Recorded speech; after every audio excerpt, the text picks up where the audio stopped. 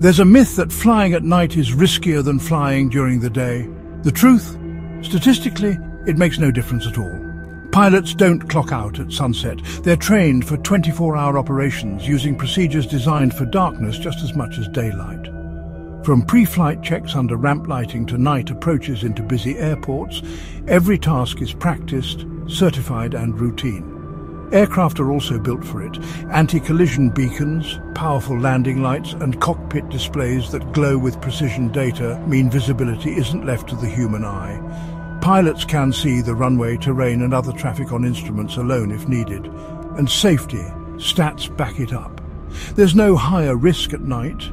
Navigation systems, radar and strict procedures keep night flights as safe as daytime ones.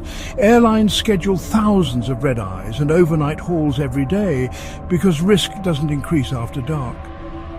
For passengers, night flying is about comfort, not safety. You might feel the dark makes things spookier, but the reality is your jet doesn't know the difference, and neither do the pilots. The myth of night being riskier simply isn't true. So here's the debate. Do you feel calmer flying by day, or does knowing the truth make night flights just as easy?